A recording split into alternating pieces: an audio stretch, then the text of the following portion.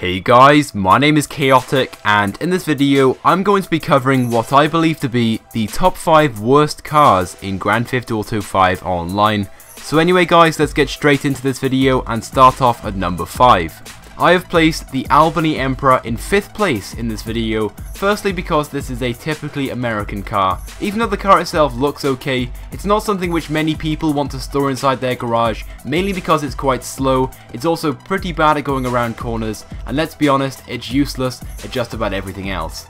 Unfortunately, there are very few customizations actually available for this car at the Los Santos Customs, and that is a shame because this car does have potential, but this car will need to be fully pimped in order to actually meet anyone's standards. Even though this car is one of the slowest on Grand Theft Auto 5, and it's also one of the ugliest as well, and being quite large, it doesn't really have much going for it, but there are still worse contenders in this video, hence why I've positioned this car in 5th place.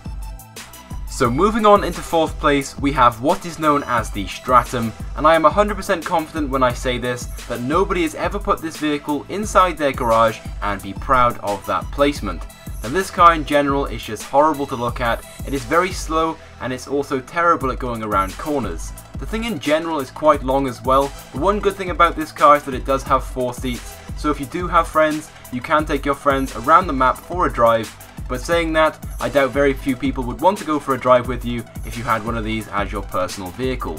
This car only has a few basic customizations actually available for it at the Los Santos Customs, so unfortunately you can't take this thing inside the Los Santos Customs and transform it into something special.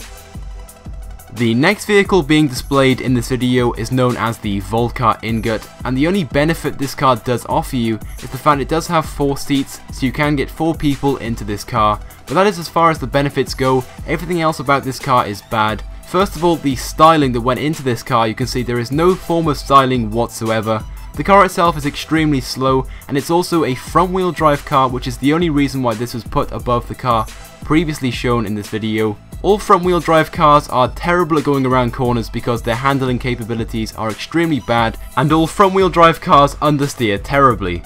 So the fact this car is extremely ugly, there is no form of styling whatsoever and there are very few customizations actually available for this car at the Los Santos Customs to improve the looks or the performance of this car will put this car in third place.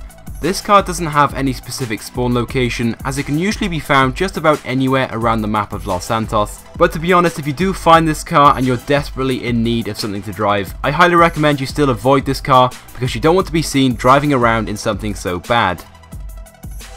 I'm confident that the next car needs no introduction. Now apologies if I do pronounce the name of this car wrong. The car itself is known as the Dilettante. Even if I have said that wrong, who cares because this car is awful. This car of course is based off the Toyota Prius and that information alone is enough to know that you should avoid this car completely.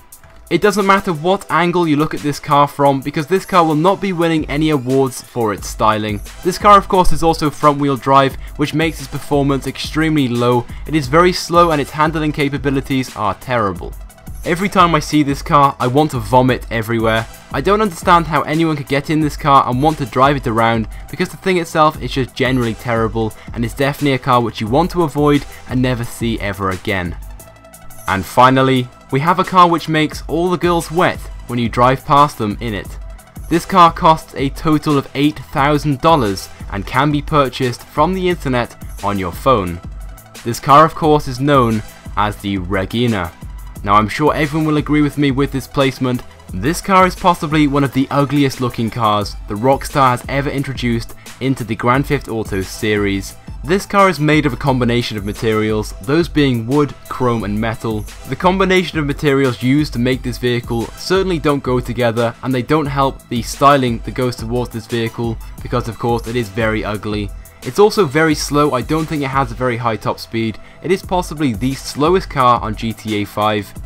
So to conclude, this car is the worst car there is on GTA 5 and there is only one reason why you'd ever purchase this vehicle and store it inside your garage and that is simply so you can blow it up at a later date. So anyway, whilst I stand by this pile of burning crap, I want to encourage you guys to like this video as it will help me out a lot and I will appreciate it greatly. Also be sure to leave a comment on this video, tell me what you thought of my placement of vehicles, and if you think I've missed out a vehicle which should have been included, then be sure to leave that as a comment also. And if you have not already, I highly recommend that you subscribe to my channel because I upload all the latest and the greatest Grand Theft Auto 5 content. So anyway guys, thank you for watching, I hope you have enjoyed this video, and I'll see you guys next time.